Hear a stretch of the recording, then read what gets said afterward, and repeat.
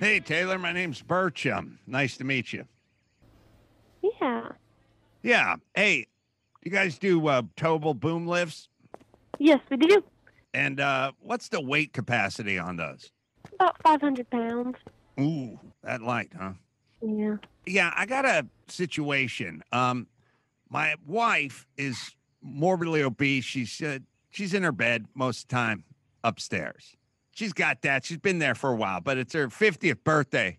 It's coming up on Wednesday, and I, I wanted to get her down to the first floor and bring the family around and kind of have a celebration.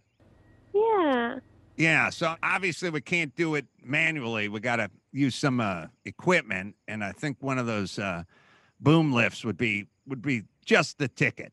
Hmm. Let me think. Um. Last time I took her to the truck scales, she was well over five, and that's been, God, at least seven years ago. I can't tell you how many SnackWell's uh, that was ago. Yeah. Um. The only other thing I could think of would be like a maybe a reach forklift, but with a different attachment or something like that.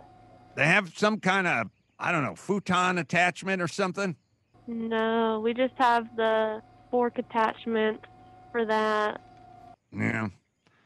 I don't know. Sorry, I'm, I I feel like I'm burdening you with my troubles, but uh, you know, when you're married, No, you know, that's okay.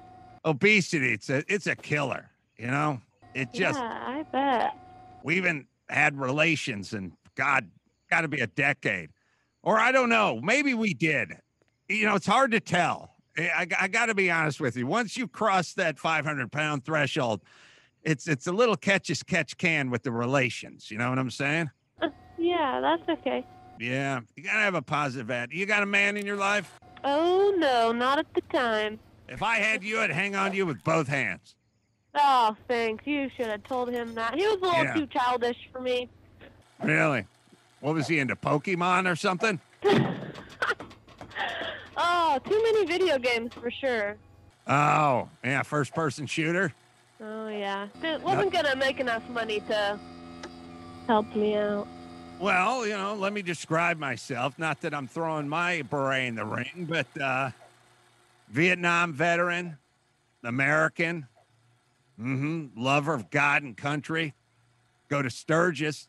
Would you like me to give you a call back if I find anything out for you? If we were walking down the street and there was a puddle on the ground, I would take my cape off and lay it down so you didn't get your dainty feet wet. Wow. I mean, I don't always wear a cape, so we'd have to chance it, but Well, dang it, sir. If there's nothing else that I can help you with, you have a great day. we can get married. I can take you to Sturgis. Even